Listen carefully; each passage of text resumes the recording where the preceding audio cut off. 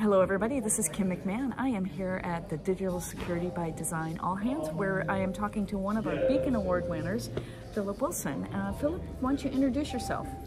Uh, gosh, um, I am running a research and development function at an e-commerce company, oddly enough, called the Hut Group, or THG. Okay.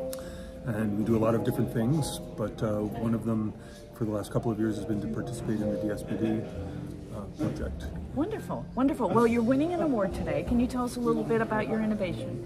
Well, uh, we are adapting the uh, the OpenJDK Java Virtual Machine to run under FreeBSD and using CHERI extensions for memory safety. Okay. And, and, the kind of interesting part that we've done so far is to port the garbage collector so that the garbage collector has uh, has exactly tight bounds uh, around protected uh, CHERI protected memory. So each object um, knows its full extent.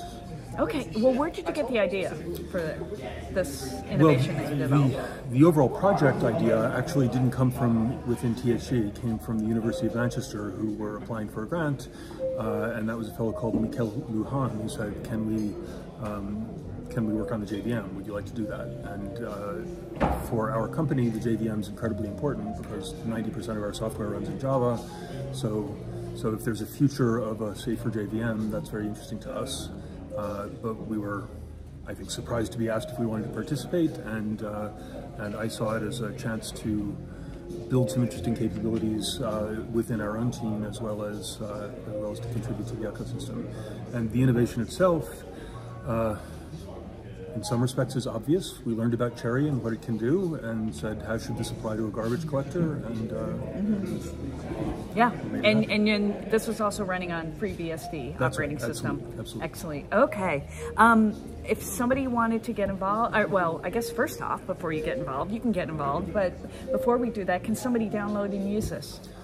Uh, not quite yet? Te technically, not quite yet. Okay. Uh, we're we're waiting for an academic to publish a paper. You can cut that okay. part out. But as soon as that it's it's on GitHub, we're going to make it public. So absolutely. Okay, perfect. So it will be on GitHub soon, and uh, yeah. It's also and, not completely finished, if I'm honest. So so. Oh, stop! Don't be so modest. I'm sure it works great. Anyway, so somebody wanted to get involved. Um, Reach out to us if they need an early okay. look. Then absolutely. Great, and then you will be providing me your contact information and we'll include that on the video so people know how to get involved with you and then how to watch for when it's available on GitHub. Absolutely. Anything else that you want to share?